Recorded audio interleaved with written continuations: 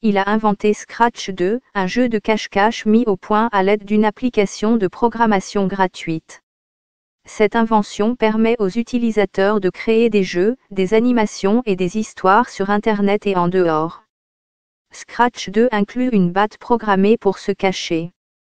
Le joueur obtient un point à chaque fois qu'il attrape la chauve-souris lorsque celle-ci sort de sa cachette. J'ai appris à construire des jeux dans un camp d'entraînement.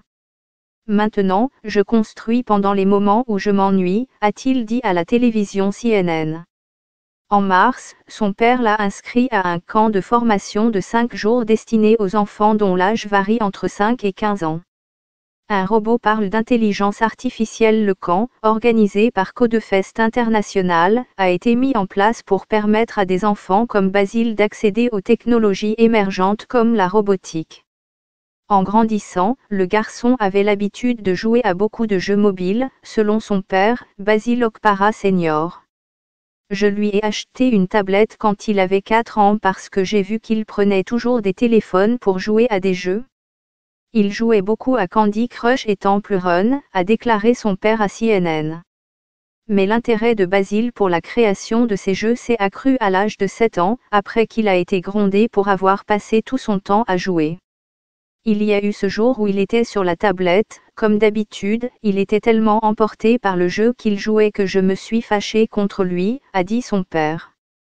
Contrarié, je lui ai dit, vous jouez toujours à des jeux, ne pouvez-vous pas penser à construire vos propres jeux pour que d'autres puissent jouer les vôtres aussi? J'étais en colère en le lui disant. Mais je ne savais pas qu'il le prenait au sérieux, a ajouté son père.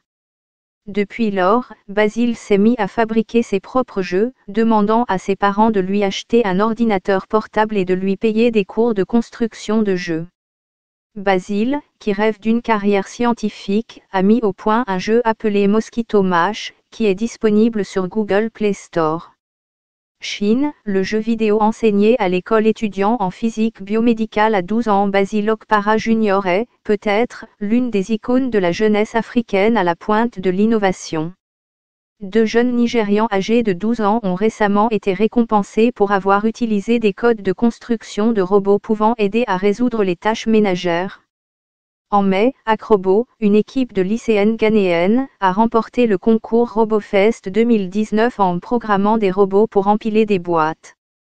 Et les investissements des géants technologiques comme Google et Microsoft étant en hausse en Afrique, Basile et ses pairs sont en voie de devenir de futures stars du codage.